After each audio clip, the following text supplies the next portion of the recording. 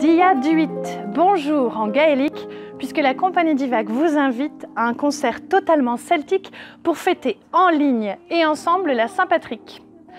Pour cette opération, nous avons décidé de nous associer à trois artisans du beau pays de Fontainebleau. Vous pourrez donc voir le concert, mais aussi manger un des Hippie Balls de Erin dans un bol en céramique créé par Laurent Bartel et qui dit Saint-Patrick dit chance et bière.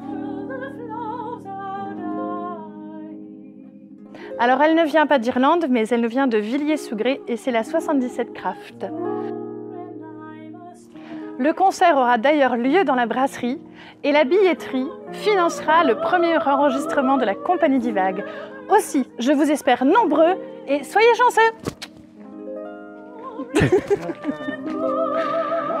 Bah on est chanceux à la Saint-Patrick